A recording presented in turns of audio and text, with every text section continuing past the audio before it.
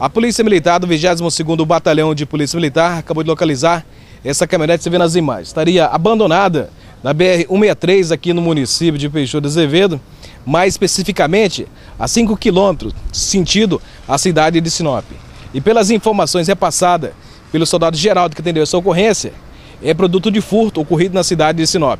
Pois é, estávamos em rondas aqui no município de Peixoto, é, quando fomos informados dia 190 aí, de que haveria um veículo abandonado nas proximidades aqui da, da área urbana.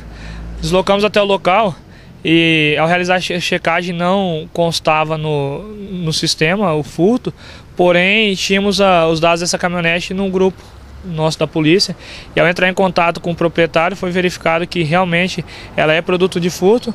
Após o contato com o proprietário, acionamos o guincho né? Trouxemos até o quartel, agora vai ser confeccionado o boletim de ocorrência e a caminhonete vai ser levada até a Polícia Civil para ficar à disposição deles. Mais uma vez, trabalho em conjunto com a sociedade, tendo resultado.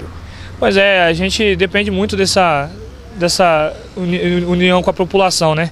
O cidadão de bem tem que trabalhar em conjunto com a gente, tem que estar tá ligando, nos informando, porque a gente depende muito da, da informação para poder agir, né? Obrigado, soldado Geraldo. Mostra também o Rogério que atendeu essa ocorrência. Mostra aqui para você essa caminhonete aqui, ó. Uma Frontier, né, com placas de colida JZR 2434. E aparentemente seria um produto furtado na cidade de Colida. Mas chegou a informação que esse veículo foi furtado na cidade de Sinop. O dono já foi informado da localização e pelas informações, eh, a polícia ao chegar no local onde estaria essa caminhonete, a polícia avistou um elemento com o celular na mão, que ao avistar a VTR, a viatura, acabou se embrando na mata e foragiu. Mas a polícia obteve o êxito localizar esse veículo aí e será entregue ao seu proprietário, que segundo informações é morador da cidade de Sinop.